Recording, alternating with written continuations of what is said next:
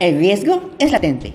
El periférico que conecta al estado de Campeche con Yucatán se derrumba a pedazos sin que las autoridades tomen medidas de precaución para evitar una desgracia que cobre la vida de civiles.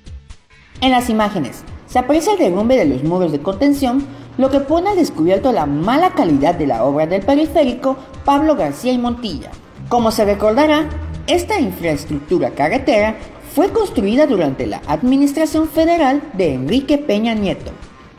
La obra ejecutada por la Secretaría de Comunicaciones y Transporte es la principal vía que conecta a Campeche con el resto de los estados de la península y por ello reporta gran tránsito vehicular. Es la segunda ocasión que esta vía de comunicación registra un derrumbe en el mismo punto, en el entronque al poblado de China. Afortunadamente no ha provocado ningún daño a terceros. La SCT tampoco ha emitido algún comunicado sobre las acciones que vayan a implementarse, ya que es uno de los tantos puentes que integran esta carretera y que poco a poco se ha ido derrumbando. Reportó para Eclipse Televisión Kevin Castillo.